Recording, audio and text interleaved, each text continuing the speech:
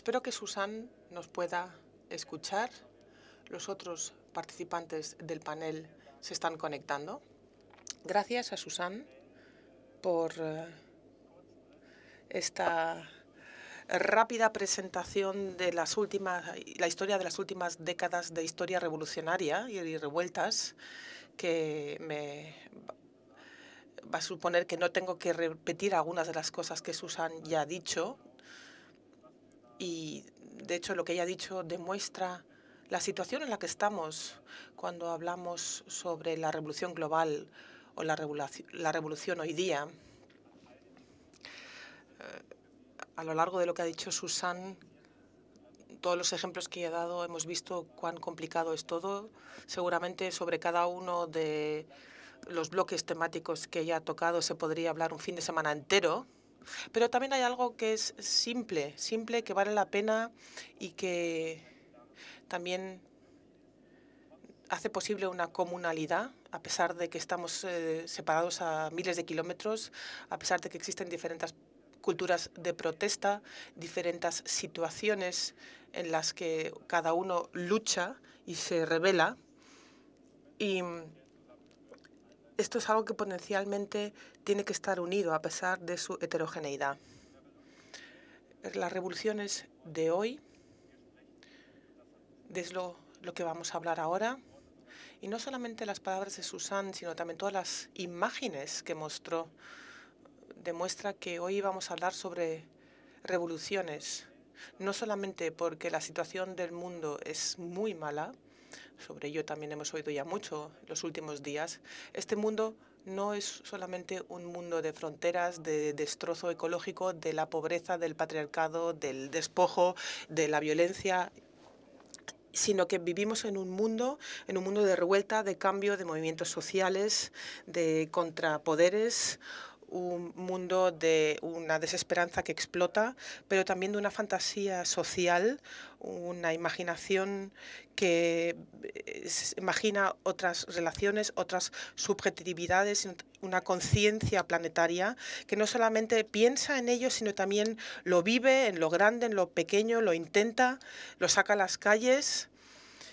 y de alguna manera siempre nos volvemos a reconocer, nos sentimos nuevamente inspirados y nos sentimos alentados. Creo que esto lo podemos decir sin necesariamente arrojar una perspectiva optimista sobre el tema de hoy, o sea, por ejemplo, la historia mundial. Para concretizar el tema, y paso ahora también a este foro y de lo que vamos a hablar, el deseo de alcanzar un cambio político y social de la situación planetaria es parte importante de la historia, sobre todo de la historia de los últimos diez años. Esto lo queremos escuchar hoy, hacer una recapitulación mirando hacia Chile y hacia eh, Siria. Y Susan también lo ha descrito eh, brevemente y rápidamente. El pueblo quiere derrocar el régimen y desde hace 10 años eh, esta voz es cada vez más fuerte, que no se calla, eh, se mantiene. Eh, es simple, pero mucha gente se reconoce en ello y de alguna manera es la manera como la gente se siente motivada a salir a las calles. También fue así en Siria, pero 10 años después de la guerra civil, que comenzó con la revuelta del 2011, eh, ahora miramos hacia atrás y vemos medio millón de ah, asesinados, muchísimos desplazados, eh, una guerra indirecta y la incapacidad de la comunidad internacional. La cuestión siria de emancipación y eh, democratización también se ha globalizado, se ha convertido en una historia mundial, no solamente en 2015 y en el eh, verano europeo de las migraciones, también eh, estas exigencias por la democracia y la emancipación llegaron más allá de las fronteras sirias, llegaron a este continente y han cambiado este continente europeo para siempre. Sobre todo esto vamos a hablar hoy con Said Albatal. Hola, Said. Said es cineasta, eh, actualmente desde Leipzig y Berlín, con 20 años. fue de Damasco a Duma, una ciudad eh, liberada de los rebeldes, y a lo lado de los rebeldes documentó todo con su cámara. Y Still Recalling es la película que resultó, donde hay más de 500 horas de material de película, de más de cuatro años de Still Recalling. Que, y la película ha ganado muchos premios. De hecho, también en el marco de nuestra conferencia eh, se puede ver. Bienvenido, Said Albatal. Nos alegra tanto que estés hoy entre nosotros. Esto fue el año 2011, pero también el 2019 y los meses antes de la pandemia documentaron que el mundo y la historia está eh, en un momento de grandes luchas. Ha habido revueltas en Ecuador, Argelia, Irán, en Francia, en Irak, en Haití, por solo mencionar unos ejemplos. Y son acompañados por nuevos movimientos de, sociedad civil como Black Lives Matter y también la revuelta feminista. En Chile, ahí donde nació el neoliberalismo, como se suele decir, eh, a final del 2019, en un banco, o sea, donde normalmente están sentados aquellos que recaudan deudas, deudas que mm, nos, nos recuerdan ciertos lemas, tal vez un lema para la revolución planetaria, de eso podremos hablar. En todo caso, de una revuelta de jóvenes en contra de eh, una elevación de 30 pesos en el ticket del metro, se convirtió en una revolución neoliberalista o antineoliberalista que sigue hasta hoy y que al mismo tiempo ha llevado a una resonancia global y ha conquistado también el colectista, colecto, colectivo feminista Las Tesis y también simbolizó el espíritu de esta, eh, de esta revuelta chilena, así como también lo hizo la bandera de los mapuches, que ondaba en todas las plazas ocupadas. Una revuelta que fue más allá de todas las fronteras, no solamente las fronteras externas, sino también las internas del país. Si esto se queda así y qué va a pasar con la nueva constitución que está a punto de fraguarse, con ello vamos a hablar con Pierina Ferretti. Bienvenida. Nos alegra que estés aquí. Ella es socióloga chilena que sobre todo eh, ha tratado el tema de la subjetividad en el neoliberalismo, es miembro de Nodo 21 una fundación, un foro de la izquierda democrática. Gracias y bienvenida. Es imposible que todos los temas que acabamos de abordar eh, se puedan discutir en una hora. Lo vamos a intentar de todas maneras. Eh, hemos, nos hemos concentrado en dar, intentar dar respuesta a dos preguntas. El primer complejo del que queremos hablar es el tema de cómo los nuevos movimientos, las nuevas revueltas se componen, cómo están compuestas y cómo también son un desafío para las imágenes tradicionales de la izquierda. Y la segunda pregunta sobre la que también tenemos que hablar, naturalmente, no solamente porque está aquí Saed, es la reacción frente a las revueltas que han llevado a una violencia masiva estatal contra los, eh, las personas y que han hecho que haya habido regímenes que luchan cada vez más contra las revueltas. Y también en Pierina eh, habla de un terrorismo del Estado.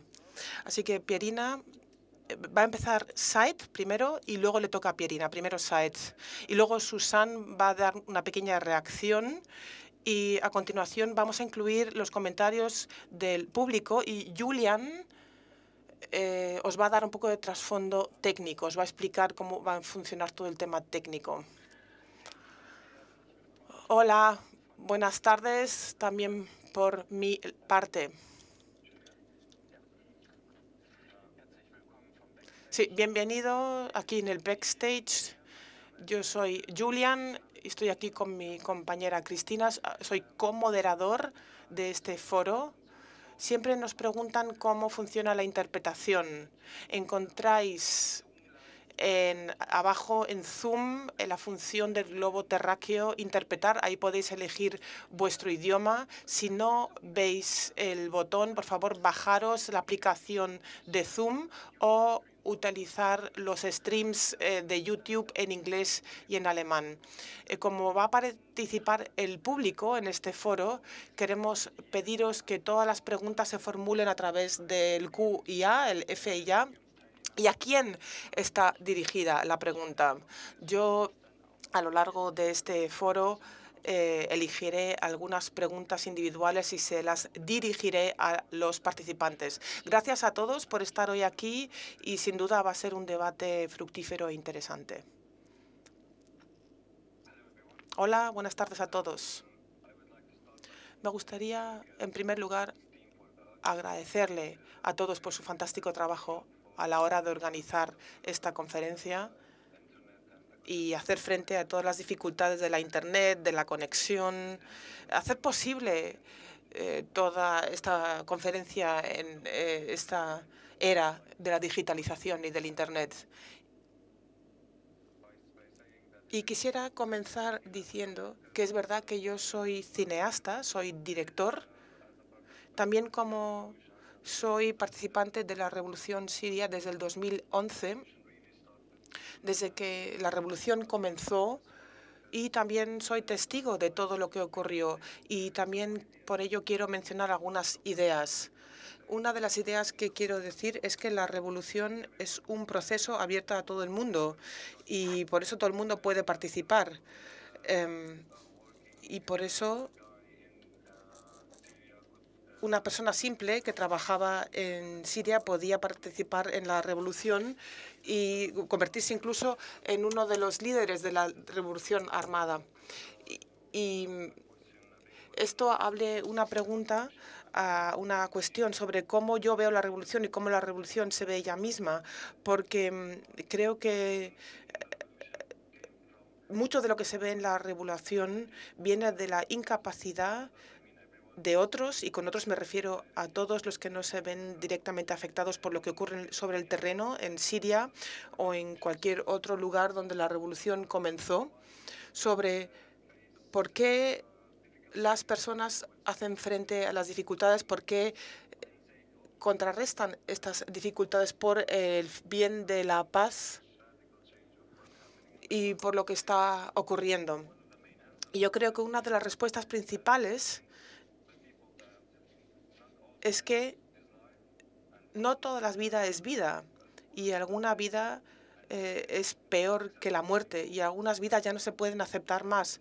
Por eso eh, algunas personas hicieron frente a la muerte porque pensaron que la muerte era mejor que su vida, porque querían un mejor futuro. Y por eso estaban dispuestos a correr, morirse para, por una nueva vida, porque ya no podían aguantar la vida que tenían.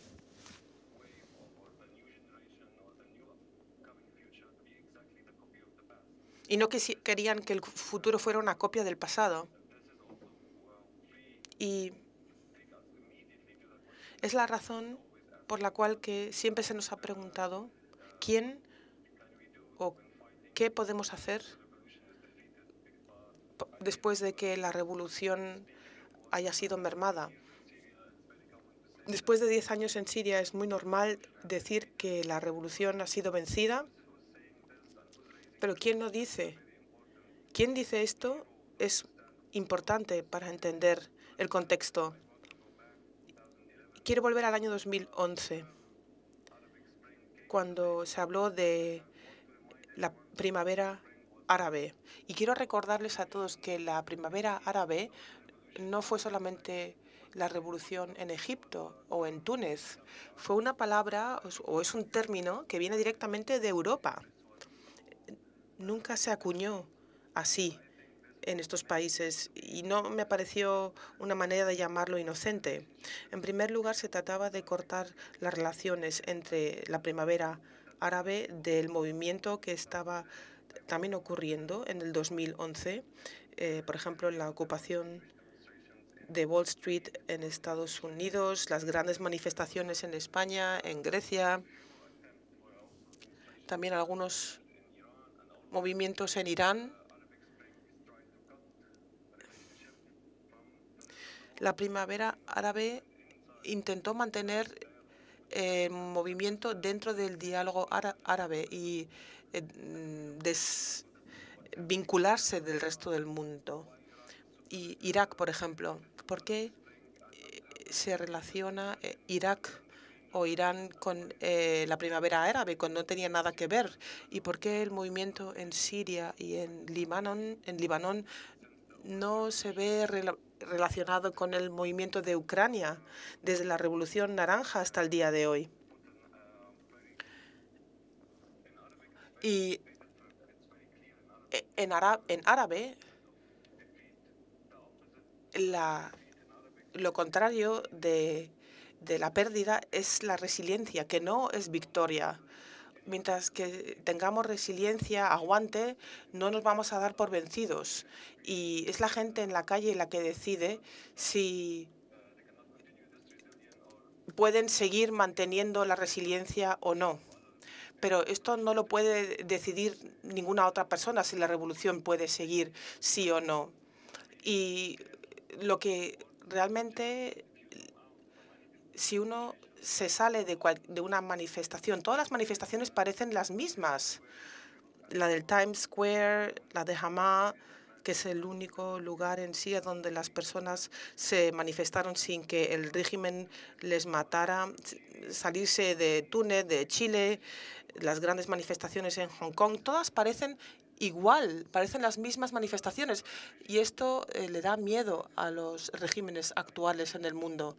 Y pienso que al mundo se le ha olvidado que la justicia no es un proceso, la justicia es un sentimiento antes de ser un proceso. Y para alcanzar este sentimiento de la justicia,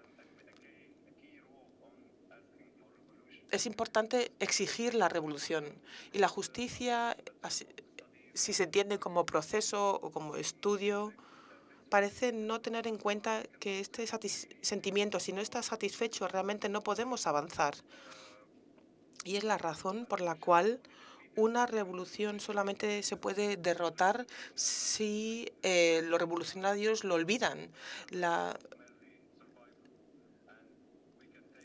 por ejemplo, vamos a tomar otra gran película, Siria, For Sama, donde la madre y el padre deciden volver a Siria, a Alepo, a el lugar más peligroso de Siria, y quieren llevar a su recién nacido a Alepo como un acto con el que quieren decir tiene que ser la vida real o no hay vida, solamente sobrevivir no es suficiente. Y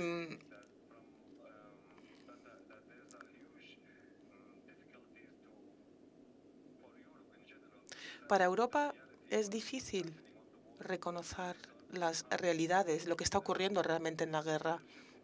Los líderes del movimiento de la revolución global ya no están en Europa, tampoco están en Siria. Yo creo que estas son las grandes diferencias entre la revolución de los trabajadores hace 100 años y los revolucionarios de hoy día. la revolución de hoy día es la revolución de los clientes y de proyectos donde los seres humanos de repente se convierten en productos. También me gustaría decir que la pandemia nos ha mostrado ¿Se me escucha bien o hay problemas de conexión? Bien, creo que el movimiento en todo el mundo demuestra que la gente sabe que está conectada en Siria siempre se hablaba de las revueltas y las manifestaciones que se celebraban en el mundo. Por ejemplo, eh, apoyamos el movimiento en Wall Street en el 2011, las manifestaciones de Sudán en el 2013. Realmente todas estas imágenes nos parecían familiares. Sin embargo, Europa parece tener problemas con la idea de que ya no se encuentra en el centro de la acción. Y esto se debe a un elemento clave en los años 70, en los años 60, sobre todo en los movimientos eh, que surgían en Alemania y en Europa, era muy importante ser solidario, pero ahora ya la izquierda radical ha desaparecido y la nueva izquierda ya no brinda su apoyo. Por ejemplo, el movimiento de ISIS fue un momento de cambio importante en Siria. En agosto del año 2013 fui testigo de lo que ocurrió.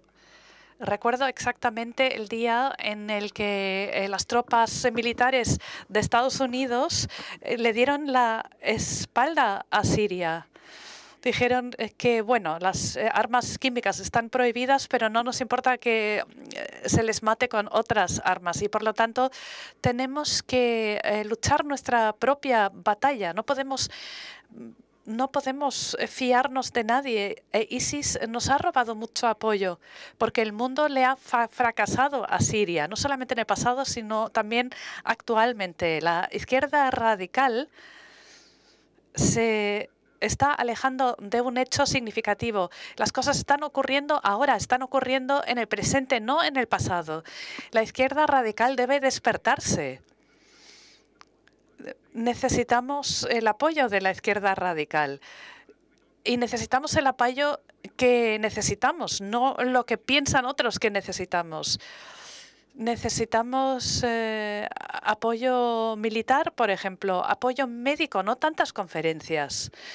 Y lo que quiero decir con todo esto es que sería magnífico que la teoría izquierdista debería vivir un resurgimiento porque una revolución no se puede basar solamente en pensamientos, sino en acciones. Y con la ausencia de la izquierda y con la ausencia de la solidaridad, con la ausencia del apoyo a las necesidades reales, lo que existe es una brecha que se llena con capital sucio y así Siria se ha convertido en una guerra indirecta. Pero tú cuando quieres defender tu casa o tu familia, no te preguntas quién te da derecho a defenderte. Y esto realmente es la responsabilidad del mundo. Habla mucho de los derechos humanos, de la libertad, Pero lo que yo he visto en la revolución siria con mis propios ojos y en general en las revueltas árabes es que Europa siempre habla de sí misma, de la libertad de los ciudadanos europeos, de los derechos humanos de los europeos, y en realidad no les importa lo que ocurre en el resto del mundo. Y la pandemia nos ha demostrado que no existen fronteras. También sabemos que el sistema de la salud es eh, corrupto y ahora hay gobiernos que están compitiendo entre sí por los eh, medicamentos, por las vacunas. No quieren colaborar. Y por tanto, o bien nos levantamos y luchamos por un sistema de salud más eficiente en todo el mundo, porque si mejoras solamente el de tu propio país, esto no va a resolver el problema de un virus, de una pandemia. Porque el virus va a volver si existe en otros países, aunque no exista en el tuyo. Y es solamente una gota eh, en un mar lo que acabo de mencionar.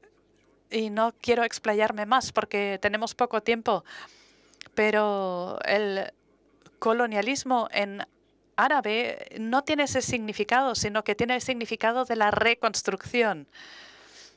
Así es como se tradujo el término hace 100 años, porque los franceses eh, nos dijeron, hemos llegado aquí para reconstruir tu país, para, eh, para que tú te puedas desarrollar y luego nos vamos a marchar.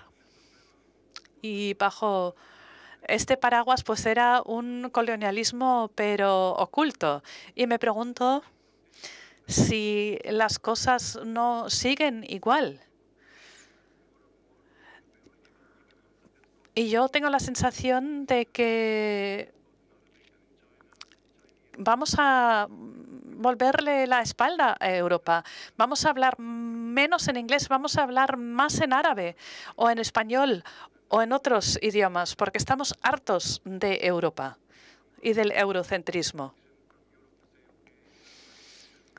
Los europeos eh, no dicen, les vamos a apoyar, pero no vamos a em, obligarles a nada. Si no lo consigue Europa, la brecha se va a abrir cada vez más. Y vuelvo a hablar de la resiliencia. Mientras continúe la resiliencia, no hay derrota. Y los eh, científicos no pueden decidir si todavía hay resiliencia. Yo creo que hasta el exilio puede ser una manera de resiliencia, porque hemos eh, tomado la misma la decisión nosotros mismos y en cualquier momento podemos volver. Nadie eh, me lo puede impedir que yo vuelva cuando quiera. Y es un acto de resiliencia también que se encuentra dentro del movimiento. Quizás podamos obtener la victoria de cara al futuro pero eh, yo creo que ya he hablado durante 15 minutos. Tendría muchísimas más cosas que eh, decir, pero bueno, voy a parar aquí. Gracias. Gracias, Said. Y me gustaría dar la palabra a Pirina directamente. Pierina, tienes la palabra. ¿Escucha? Sí, muy bien. Ok.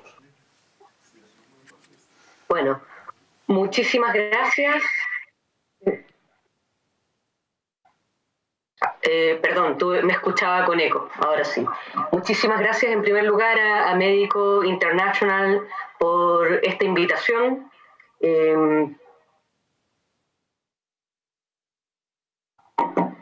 y también a, Susan, a Said, a Mario, con quienes compartimos esta mesa. Em, yo quisiera poner algunos puntos respecto al, estallido social en Chile. Eh, en algunos elementos nos vamos a encontrar, nos vamos a, topar con lo que ha propuesto Susan, con lo que ha dicho Said.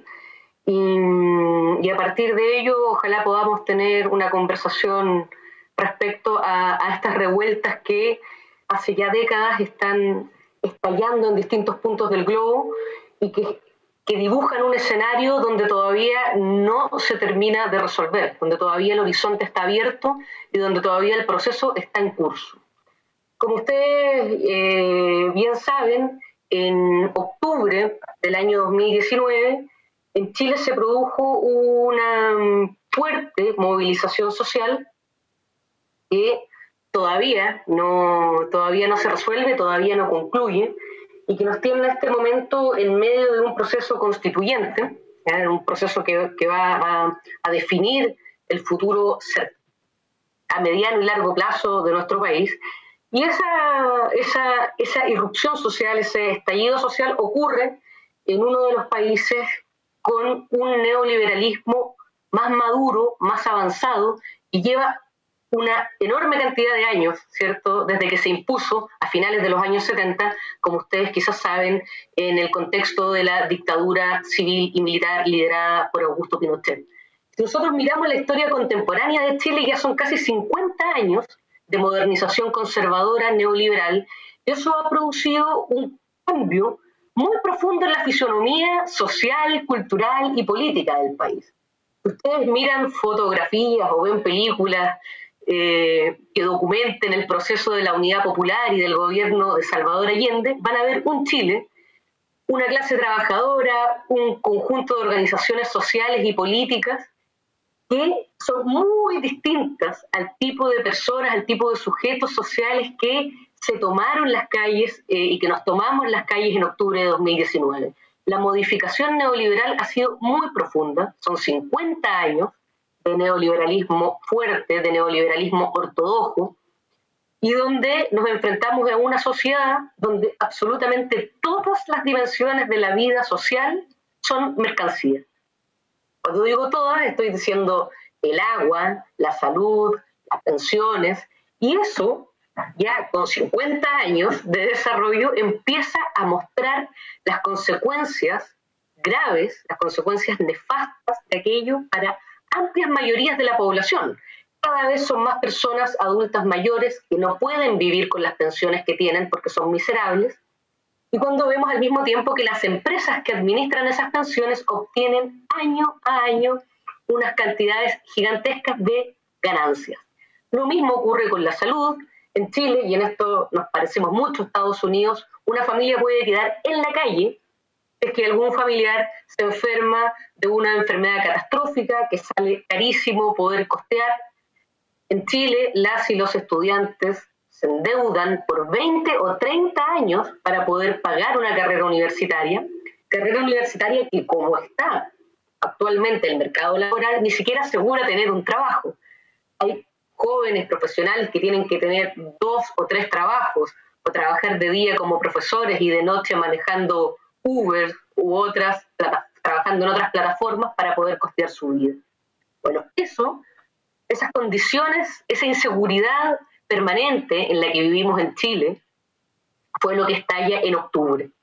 Es un malestar con el neoliberalismo, es un malestar con las condiciones de vida que nos impone el neoliberalismo, y es también un malestar que estalla de manera inorgánica. No fueron los sindicatos, más importantes, de hecho, solo el 20% de la clase trabajadora chilena está sindicalizada. Es decir, que hay un 80% de personas que trabajamos que no estamos representados ni representadas en los sindicatos tradicionales. No fueron los partidos políticos, no fue la izquierda, ni la izquierda histórica, ni la nueva izquierda quienes convocan a esta movilización, fue una movilización espontánea, pero completamente espontánea. De hecho, las organizaciones quedaron los primeros días en un estado de aturdimiento, producto, digamos, del, del carácter masivo, general y espontáneo de esta movilización. Y eso es eh, un punto que es fundamental porque muestra, por un lado, la enorme potencialidad de la gente en las calles movilizándose, pero por otro lado, los problemas que trae aparejada la inorganicidad de esta movilización. Esta movilización en Chile no ocurre de la nada.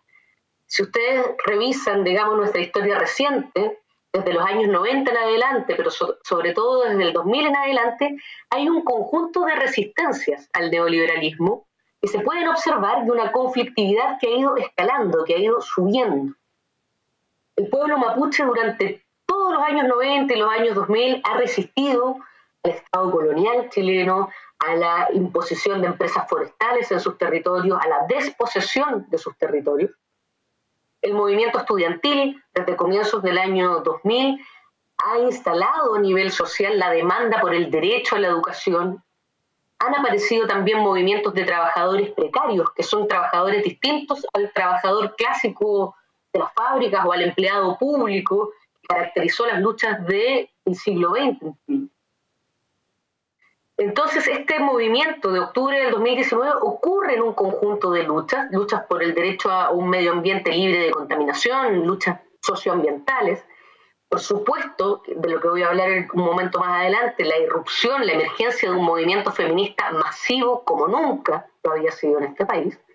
Pero lo que ocurre en octubre del 2019 es, es como un momento de generalización de la lucha social ya no eran sectores, estudiantes, eh, trabajadores de algún sector específico, sino que era la sociedad, la mayoría de la sociedad la que estaba en las calles.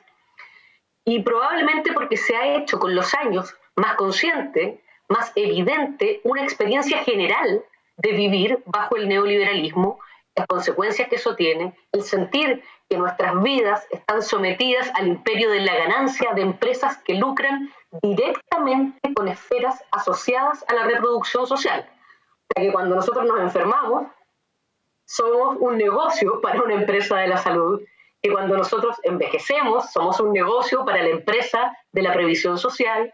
Y esa sensación, esa conciencia ha ido creciendo en estos años y ese malestar con las élites políticas, con lo que podríamos llamar el partido neoliberal, que es transversal de la derecha política y de sectores aún de la centroizquierda, es ese malestar el que estalla.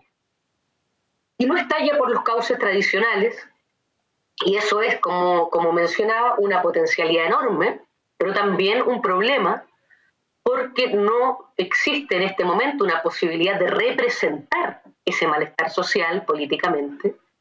Los partidos de izquierda tradicional, histórica y de la nueva izquierda han hecho con errores algunos esfuerzos por poder canalizar esta fuerza popular, pero estamos probablemente en un proceso de formación de una nueva clase trabajadora que todavía no se da, todavía no inventa sus propias formas organizativas para poder empujar sus intereses, que son los intereses de las mayorías sociales. Si nosotros revisamos la historia del siglo XIX, mediados del siglo XIX hasta mediados del siglo XX en Chile, fue el proceso de formación de una clase trabajadora, de sus organizaciones sindicales, de partidos políticos que representaban sus intereses, que tuvo su punto más alto en la unidad popular, el gobierno de Salvador Allende. Esa experiencia fue derrotada y ahora estos procesos de movilización social son signos de que estamos saliendo de esa derrota y que una nueva clase trabajadora se está conformando, pero es un proceso que está ocurriendo, un proceso que no ha terminado y un proceso que está allí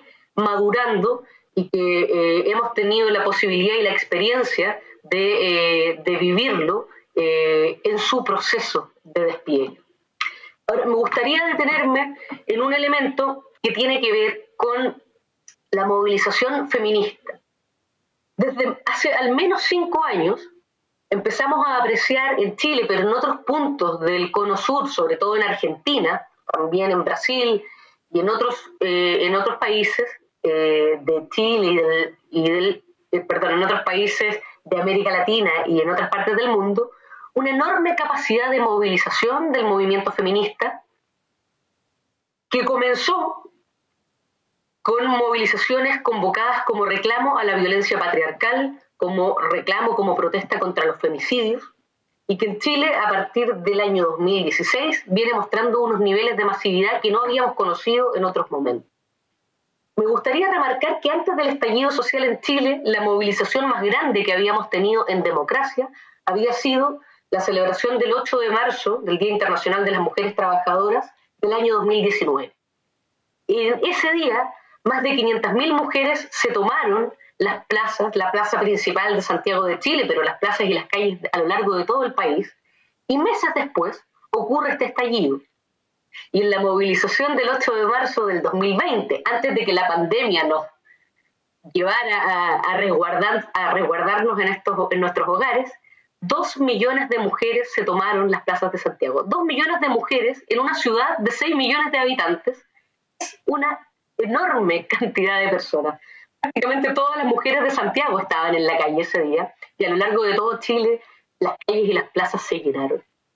Y nosotros nos preguntamos, estamos elaborando una lectura respecto a qué es lo que produce el feminismo a nivel social. Y creemos que esta rebelión general de la sociedad chilena, en una parte muy importante, fue preparada por la rebelión feminista. no solamente lleva a las mujeres a salir a la calle, sino que lleva a la sociedad su conjunto preguntarse por las estructuras de poder, por las injusticias, va generando una intolerancia hacia la injusticia a nivel social, a nivel extendido. Lo hemos llamado con algunas colegas una rebelión expansiva, una rebelión que comenzando en las mujeres y en las disidencias sexuales se expande hacia el conjunto de la sociedad y va contagiando una disposición a la revuelta, una disposición a la rebeldía y que va también generando este movimiento que es propio del feminismo, que es pasar del sufrimiento privado, por ejemplo, ante la violencia de género, que es una violencia que se sufre generalmente al interior de los hogares, de manera privada. El feminismo lo que hace es convertir a las mujeres, a las disidencias sexuales, de, de ser objetos de violencia a ser sujetos políticos, a tomar, digamos, la iniciativa en la lucha, a salir de la posición pasiva de víctima y a tomar una posición de lucha, de eh, rebelión, y a nivel primero individual, pero luego a nivel social, a, a mostrar que los problemas que vivimos al interior de nuestros hogares no son problemas personales, son problemas de estructuras sociales y que por lo tanto hay que combatirlas socialmente. Esa disposición el feminismo la ha contagiado al conjunto de la sociedad y creemos que esa rebeldía expansiva tiene mucho que ver con la, con la rebelión que hemos vivido de octubre en adelante, porque el pueblo chileno ha demostrado que ya no está dispuesto a tolerar de manera sumisa y de manera pasiva los abusos, las injusticias, y eso lo podemos ver hasta el día de hoy cuando ante recientes abusos policiales, asesinatos que han ocurrido a plena luz del día, la reacción popular es inmediata y es muy fuerte. Y eso estamos viendo que es una rebeldía que se instaló en la subjetividad del pueblo chileno, un pueblo que hasta hace un año y medio atrás nuestras clases dominantes mostraban al resto del mundo como un pueblo estaba contento con el sistema neoliberal, que había asumido que este era los niveles de consumo que se tenían, era un pueblo que estaba conforme, y esta rebelión ha mostrado que no, que es un pueblo que ya no está dispuesto a tolerar pasivamente los abusos, el feminismo ha contribuido mucho en aquello. Ya para terminar, porque me estoy ya acercando a los 15 minutos, decir que el terrorismo de Estado, la, la reacción represiva que el Estado chileno ha tenido, primero, no solo puede ser mirada de manera particular como una reacción en Chile, a lo largo de toda América Latina y en el mundo hemos visto una creciente brutalización y militarización de la política, lo que nos habla de que el neoliberalismo en crisis ya no tiene formas democráticas de sostenerse y que la represión es una necesidad política para el intento de domesticación o de disciplinamiento de las clases trabajadoras que se resisten a, a ese disciplinamiento neoliberal y que en Chile efectivamente va por medio de la fuerza militar se está tratando de impedir la democratización social que esta rebelión implica. Aquí lo que se está disputando en el fondo es la recuperación del poder para las mayorías, poder decidir colectivamente sobre los asuntos que nos competen a todas y a todos. Es esa posibilidad la que durante 50 años se nos ha negado, decidir colectivamente el destino de nuestro país y decidir sobre los temas relevantes de nuestra vida colectiva y esa posibilidad de democratización social es la que se está tratando de contener y de impedir por el imperio de la fuerza. Pero eh, el pueblo chileno ha mostrado un tesón y una capacidad de mantenerse luchando y de no someterse, que si bien tenemos un conjunto de problemas enormes que no se han resuelto y que no son de pronta resolución, entre ellos el problema de la izquierda, una izquierda a la altura de este pueblo que se ha manifestado. Tenemos también eh, confianza en que esta rebeldía del pueblo chileno llegó para quedarse y que no eh, va a ser fácil someter, someternos eh, en el futuro. Así que en eso estamos, en un proceso que está ocurriendo y, bueno, podremos conversar con, con, Susan y con Said y con Mario sobre estos procesos a nivel global. Muchas gracias.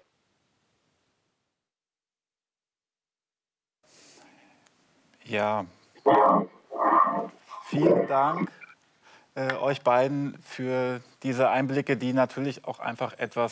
Muchas gracias a los dos por eh, haber compartido esas ideas que obviamente para digerirlo todo necesitaríamos más tiempo. En aras del tiempo vamos a pasar al debate. Tenemos un ratito eh, para contestar a preguntas. La primera pregunta se hace, ha llegado para Susan. Eh, nos mostraste una serie de imágenes y, bueno, todos compartimos ese optimismo fundamental eh, que te inspira. Aún así, en los diferentes lugares concretos, como también en el puzzle que forman todos esos lugares, em, constatamos algo muy poco concreto. O sea, todo el mundo puede participar. Pierina dijo que la gente comparte eh, ese movimiento, pero eso significa que estamos en un proceso que em, permitiría una revolución planetaria o simplemente hay gente que sale a la calle para protestar, o sea, sienten todos un poco lo mismo, pero no hay indicios de que realmente pueda haber un elemento unificador de todos esos movimientos para llevar a una revolución planetaria. Em, entonces me toca, supongo, dice Susan. Voy a apagar el sonido. Ah, me, me da un eco. Ah, vale, ¿me quito esto? Pero obviamente ya no voy a saber cuándo me hablan. Bueno, gracias. Eh, ahora, bueno, menos mal que ya escucho a los demás y es, un, es una alegría.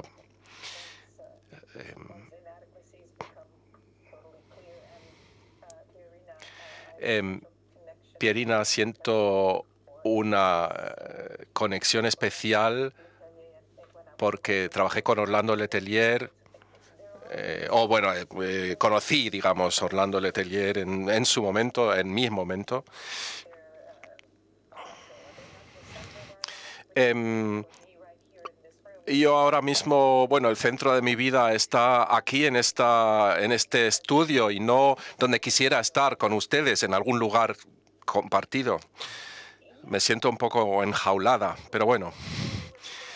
Eh, creo que de alguna manera ya hemos llegado a, donde hay que llegar, en cierto sentido. Este foro permite compartir nuestras frustraciones, eh, nuestras no identidades. Estamos en situaciones completamente diferentes, no hay duda, no cabe duda, pero aún así hablamos, compartimos. Eh, cuando nos azotó la pandemia, de repente no podías hacer lo que habías estado haciendo el día anterior incluso y es complicado y parte de tu cerebro, parte de, de tu cerebro dice, esto es esto debe ser como sería una revolución. Las cosas antiguas desaparecen y de repente todo es diferente. Surge algo diferente, algo nuevo. El mundo entero está comportándose de otra manera diferente de un día para otro. Eh, entonces, en vez de ser una pandemia, podría ser otra cosa la que nos lleva a ser diferentes de un día para otro. Necesitamos, obviamente, un cambio de la conciencia. Sabemos que lo antiguo que conocemos no va a seguir funcionando, así que seamos abiertos para nuevas cosas. El neoliberalismo ha evolucionado. Eh, ¿Hay salvación en él o no? Me, preocupa un poco la idea de que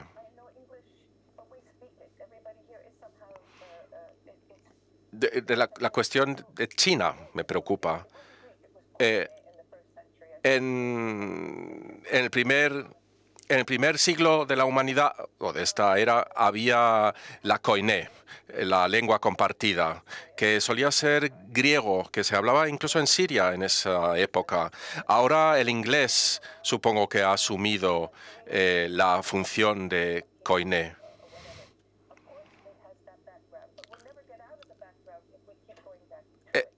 Ese eh, es el trasfondo actual de la historia, pero nunca vamos a avanzar si siempre nos apegamos a ese trasfondo. No sé cómo es vivir en un campo de refugiados. Y solo con mirar no lo vas a poder experimentar. Es difícil ponerte en el pellejo de otra persona. Prácticamente es imposible hacerlo. Eso, eso, significa, eso sin embargo, no significa que deberíamos dejar de intentarlo.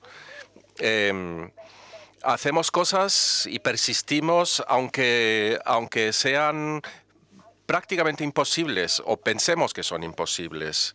Y ahí está la resiliencia también. Es una manera de afirmarnos, de no claudicar.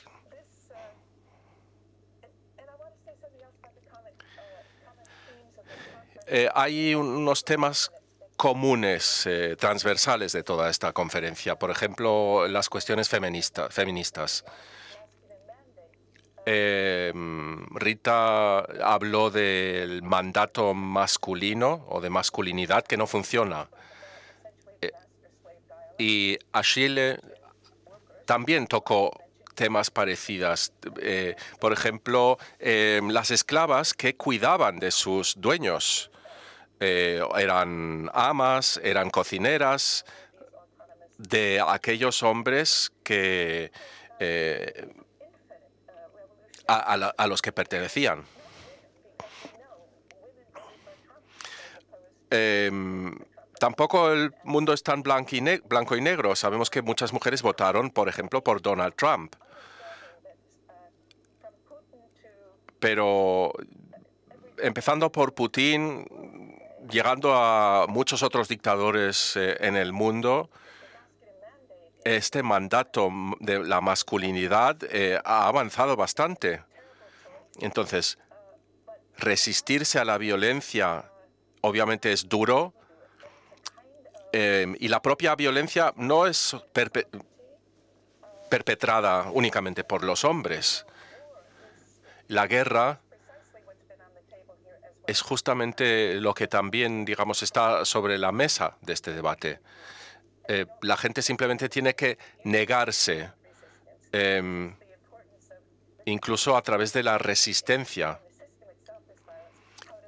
de la resistencia armada. ¿Cómo luchas contra un sistema violento? Una cosita más. Eh, hay una noción de la universalidad que me gustaría poner en el tapete. Em, o sea, decir, yo tengo razón, tú eh, no sabes, no conoces la verdad, te niegas a la verdad, así que te elimino. Eso, eh, eso es la negación. Lo que vemos son situaciones parciales y eso hace que nos necesitamos los unos a los otros, porque nadie tiene una imagen completa de todo.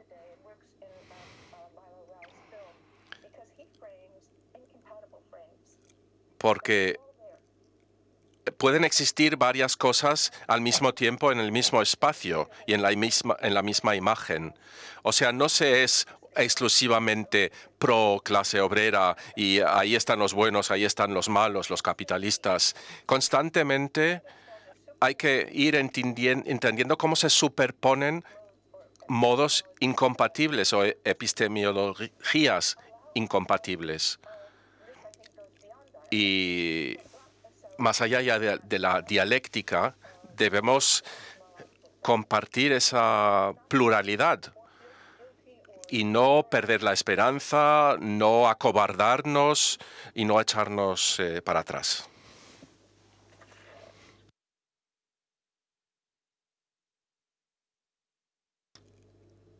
De momento no nos llega sonido.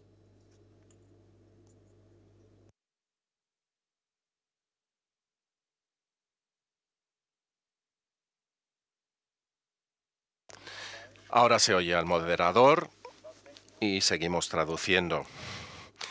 Em, tras diez años de guerra civil, eh, Saed, ¿qué piensas sobre la esperanza cuando está todo ya perdido o nunca se, nunca se pierde esa esperanza?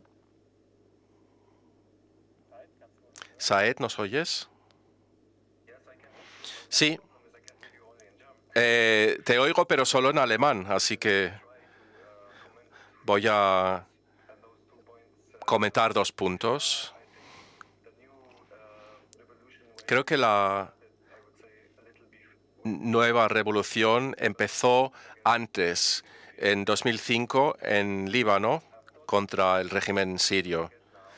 Es algo que ahora tendemos a olvidar, pero es importante recordar que uno de los fracasos más grandes del siglo pasado fue olvidar justamente este aspecto. Esto va a espantar a mucha gente, pero la razón es el feminismo. Hemos de recordar que el feminismo no se basa en el género eh, ni en el sexismo. es la posibilidad de abrazarse a todos, todos a todos, en un solo movimiento que busca un futuro. Entonces, no veo eh, un camino hacia el futuro sin la idea esencial de entender mejor lo que está sucediendo.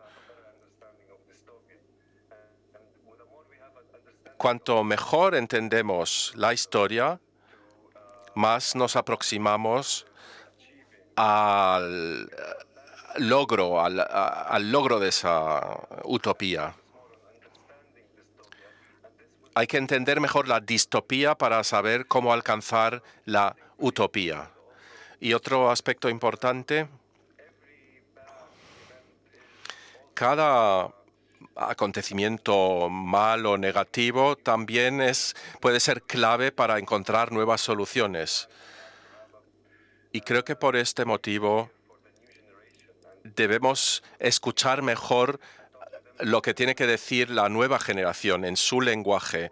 Y en su lenguaje se han alejado del discurso académico. Em, y eh, esto puede convertirse en... Esto a veces se convierte en un mecanismo un poco de huida, ¿no? Como no puedo hacer nada realmente o prácticamente in situ en el terreno, me voy a refugiar en la teoría, ¿no? Me voy a esconder en la teoría. Creo que debemos hablar más con el lenguaje, usar más el lenguaje de la calle para entender lo que está sucediendo. Por eso creo que el caso de Siria es tan importante y el movimiento es tan importante para entender lo que está pasando. Incluso dentro de la primavera, la llamada primavera árabe, en Sudán hubo protagonistas femeninas, también en el Líbano el movimiento fue liderado por mujeres y por lo que veo también lo es en Chile. Entonces, no eh, necesitamos incluso la pandemia para entender que todo está entrelazado e interconectado.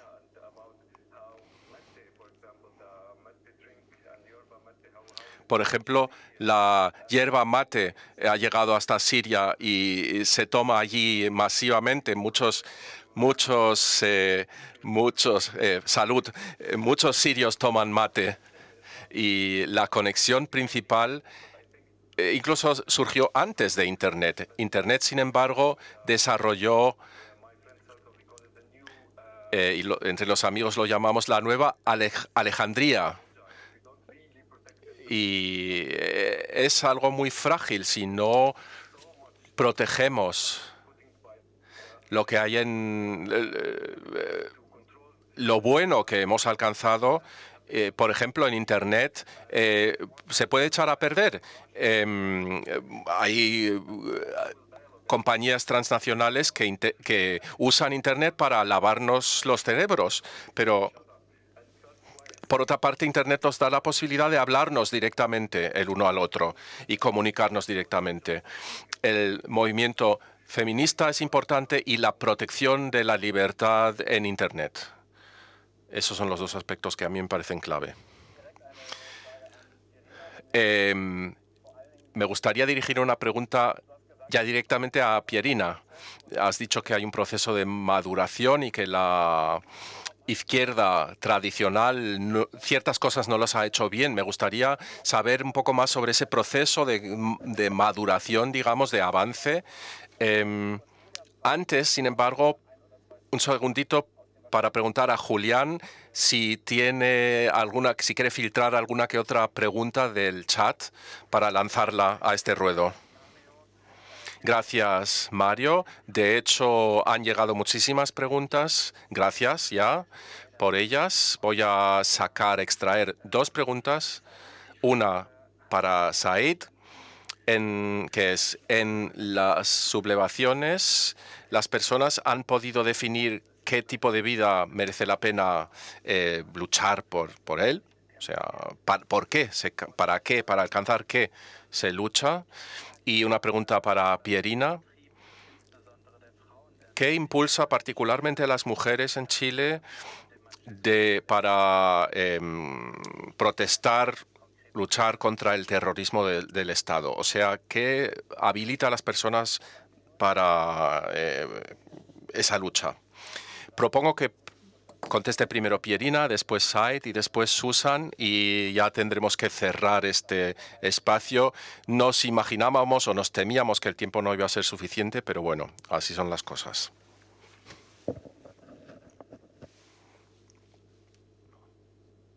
Pierina. Bueno, muchísimas gracias por las preguntas. Me encantaría que pudiéramos conversar largo eh, y tendido.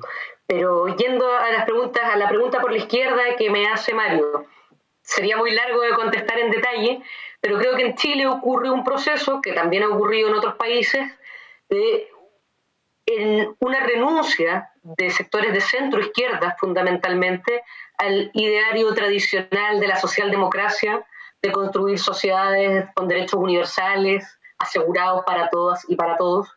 En Chile, después de la dictadura civil y militar, fue una coalición de centro-izquierda la que gobernó el país durante décadas. Y en muchas materias el neoliberalismo se profundizó en esos gobiernos civiles de centro-izquierda. Por lo tanto, cuando es la centro-izquierda la que avanza en la privatización de la salud, la que avanza en la privatización de la educación, se desdibuja completamente el mapa político y la izquierda pierde, digamos, eh, sentido la izquierda contra los trabajadores, la izquierda contra las mayorías, y eso tiene un impacto. Eso tiene un impacto que en Chile es que a finales de los años 80, cuando terminaba la dictadura, más del 90% de la población tenía preferencias políticas claras.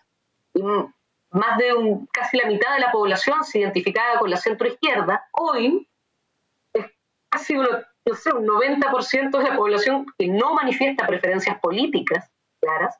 Y la izquierda reúne alrededor del 16% de eh, las preferencias, en un país donde además vota menos del 50% de la población en las elecciones. Esa desafección política no es casual, ha sido políticamente producida en gran parte por esta renuncia de, de, la centroizquierda, no un proyecto revolucionario de socialización de los medios de producción, no, un proyecto socialdemócrata de derechos universales asegurados para toda la población. Eso no existe en Chile. Eso es un problema. Ahora bien, ha, habido sectores de izquierda histórica también que han resistido a, ese, a ese modelo, pero que tampoco han logrado, y ahí hay un problema, conectar con el Chile real, el Chile del siglo XXI, y ya no es el Chile de los obreros y campesinos de eh, la unidad popular.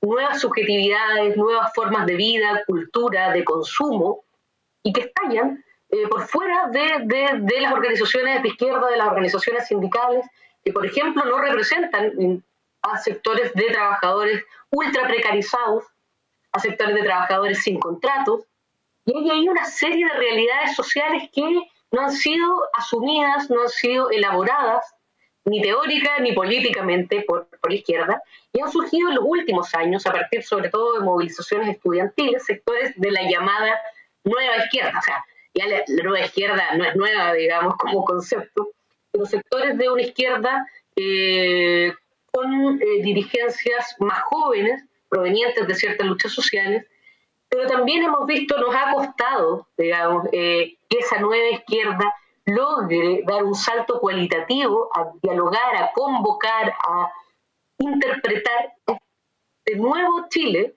que se expresa en las calles, pero es un proceso que está ocurriendo, yo creo que, que, se avanza con dificultad a, a, esa, a ese objetivo, que es lograr articular una izquierda a la altura de los desafíos que, que tenemos, pensando en el entendido en el que muchos todavía nos situamos, de que es necesaria la organización política, de que es necesaria la articulación de distintas luchas en un proyecto que requiere instrumentos.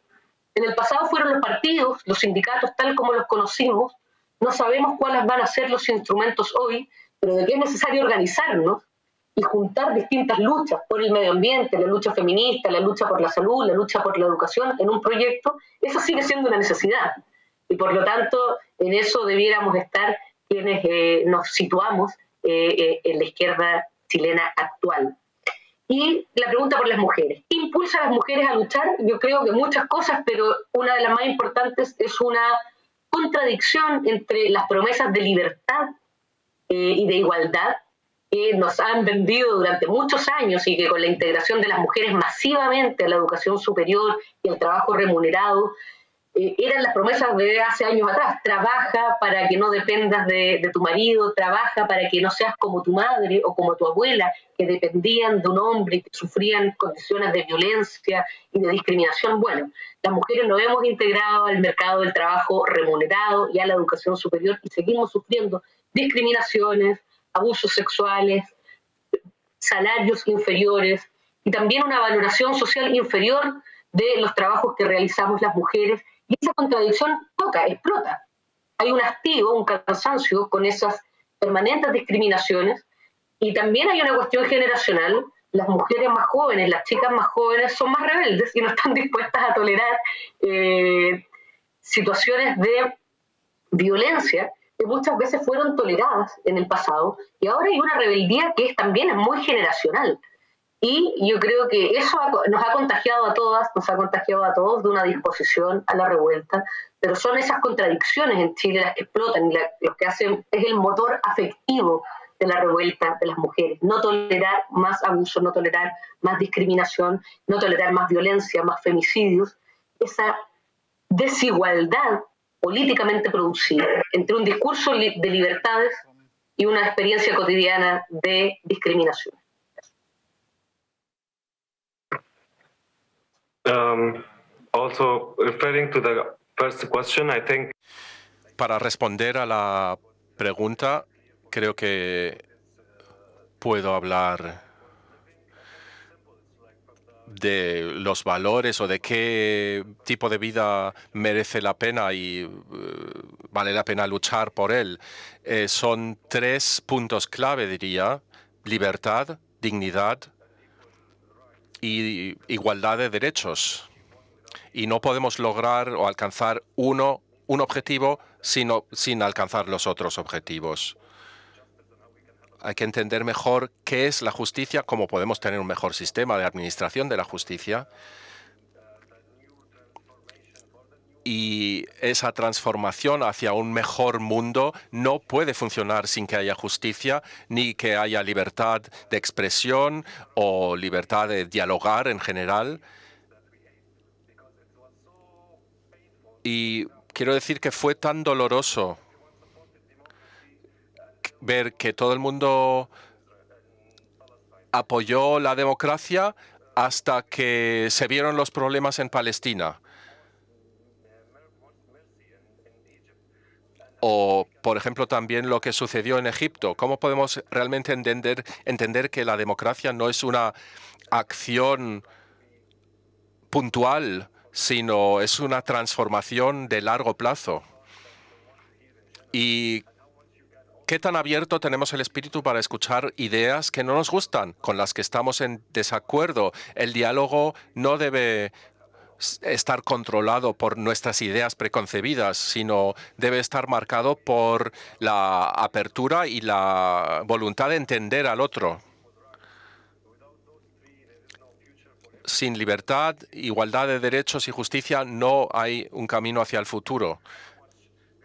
Pero el sistema en nuestro país, la administración, la burocracia, eh, están en muy mal estado. Se le ha apagado el micrófono a Said. Gracias. Lamentablemente tenemos que cortar aquí. Aunque sigamos diez minutos, tampoco vamos a poder eh, zanjarlo todo. Espero que en algún momento podamos seguir eh, eh, con este debate. De momento os tengo que dejar dar gracias por sus intervenciones y, el debate. Em, también por el optimismo que hemos sentido. Eh, gracias. Em, vamos a hacer una mínima pausa y seguimos con el foro siguiente. Muchas gracias.